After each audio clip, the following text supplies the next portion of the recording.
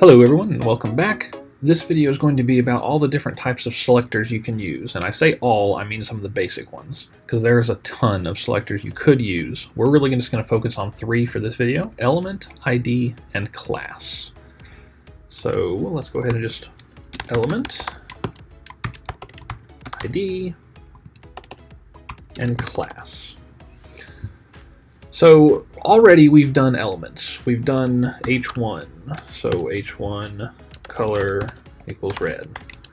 We're selecting all the H1s on the page. If we have more than one H1, it will select all of them. So let's refresh. Now I have, it selects both of them. And if I change this to green, it selects both of them. But you also have the options of getting more specific. Let's say that I wanted the first header to be green,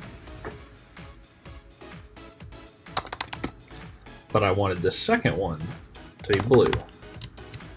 Right now I can't do that with what I know. I can't make the first one green and the second one blue. It's all or nothing.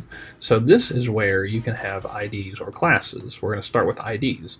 IDs are added right here. You do ID equals a um, header 2, and this can be anything you want. You can give it whatever name you want as long as it's unique. It has to be unique. You can't have more than one element with the same ID. So I've given this ID of header 2, and just to be safe, I'll give this the ID of header 1. So I come over here into my styles, and in the IDs, I'm going to select this with header 1, this with header 2. So let's comment out that.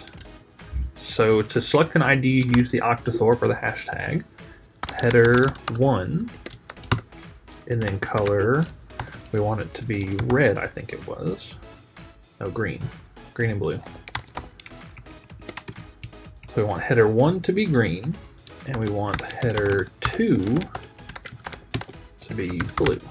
So if I save this and refresh, now I have the option, the ability to style them individually. So IDs are used whenever you want to select one specific element in order to style it, and then you come over and you select that ID with the octothorpe or the hashtag or the pound sign or the number sign or whatever you want to call it. Those are IDs. And notice here, and we'll get into why later, but right now I have all H1s being colored green. Let's make this one red. I want this to be red.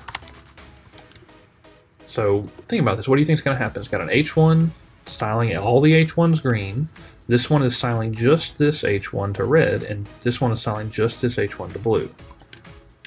Refresh, and you'll notice it takes the IDs, but it didn't do anything with the H1. Now you might think, oh, that's because that's lower in the CSS.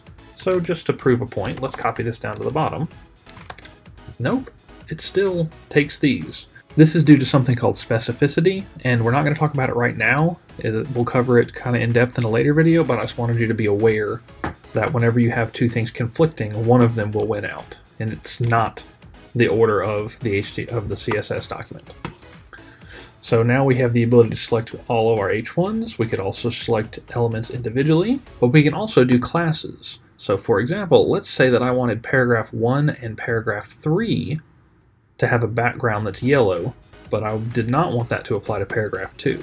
Now I could come in here, put ID, paragraph 1, and then come down here and put id equals paragraph 3 and then come over in here and then give them each an id and but that's that's repeating myself. I want it to be dry. I do not want to repeat myself. I want the since i want the exact same styles to apply to both of these instead i'm going to use what's called a class. And you'll be using a lot of classes.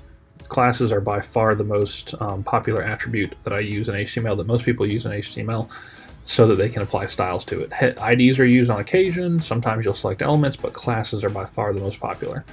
So class equals, we'll call it um, yellow BG. And I can copy and paste this exact same thing down here. IDs are unique, classes are not. IDs can only, there can only be one, Highlander style. But classes you can reuse as many times as you want. To select a class is the period, followed by that name, yellow BG I believe it was. I'll set background to yellow. Save and refresh, and you'll notice it applied only to the ones that have that class. It did not apply to paragraph 2. I can come up here into an entirely different element. Equals yellow BG and apply that same class and it will apply. So it can be anything. It can be the, the body. Class equals yellow BG. Refresh, and now the entire body has a background that is yellow. I don't want that but I could. So those are the three main ways to select elements in CSS. Like I said, there's a lot more and we're going to get to the advanced ones, but those are the three most common ways and the three most basic ways to do it. You can select the element itself, which will select all of that type, all H1s, all divs, all paragraph tags, whatever. You can select by ID, which is the individual specific one, and there can only be one. These are unique. And then you can also select class, which are not unique. It's like an ID, except it's not unique. You can use it multiple times. That's it for this video. I hope you have a good one.